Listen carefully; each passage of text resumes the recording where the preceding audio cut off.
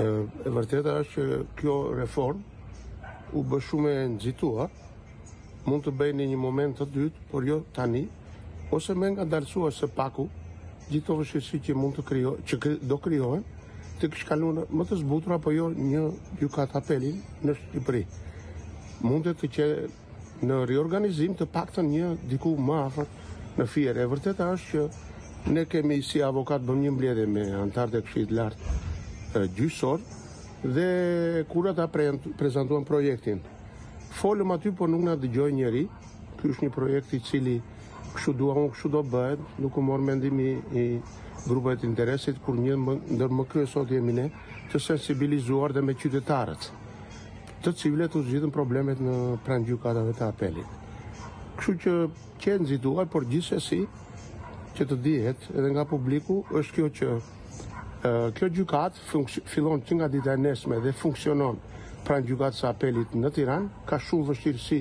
nuk e di sa janë gjykuar nga nga faktorët dhe aktorët kryesorë, është Këshilli i Lartë gjyqësor,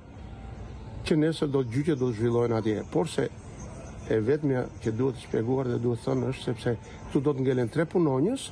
të cilët do të kenë mundësinë që t'u shërbejnë qytetarëve pranë gjykatave që pranë kësaj gjykate apeli siç kanë qenë edhe më para që do të thotë ata do vijnë këtu të dorëzojnë kërkesa, ankesa